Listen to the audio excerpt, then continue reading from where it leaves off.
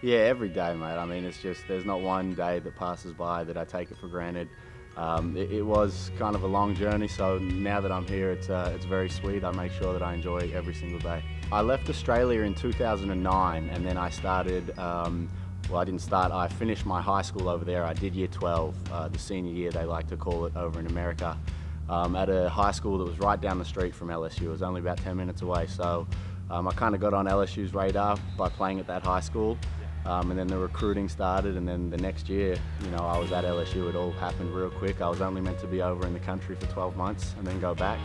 Um, and here I am still, you know, seven, eight years later. What was the moment when you first picked up an American football and you thought, you know, I, I can get a fairly good handle on this?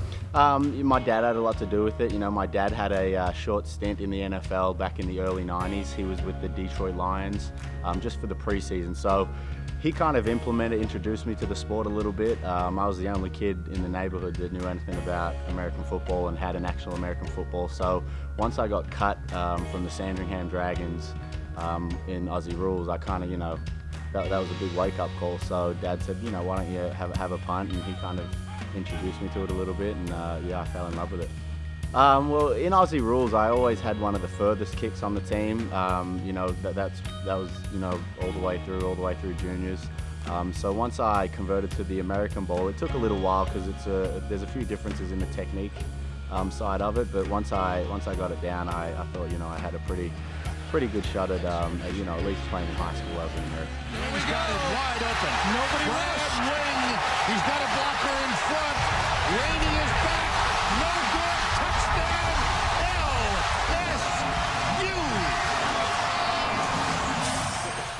Yeah, that was, that was a big, um, I guess, moment, memory um, in this entire experience. You know, probably one of the bigger ones is you know, running into the end zone there at LSU, 100,000 people going off their heads. So that was a very exciting moment.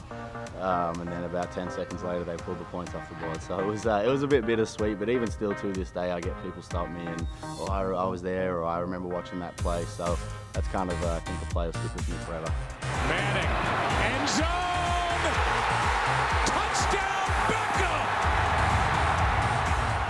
It's crazy, you know. It's, it's crazy just to watch what he's turned into. You know, we were roommates in college, so I knew him before anyone knew his name. So to now kind of see him go from that to, like you said, one of the biggest names in sports in the world. You know, he goes to Germany, he goes to London. Everyone knows who he is. So it's been um, it's been crazy to kind of just watch someone who I consider to be, you know, just a normal person turn into a, a superstar, rock star. It's, it's just been crazy. Odell Beckham Jr. for James, touchdown! You have got to be kidding me. I mean, this guy does it almost on a weekly basis. This is unbelievable. How this ball does not come loose when he hits the ground, I have no idea.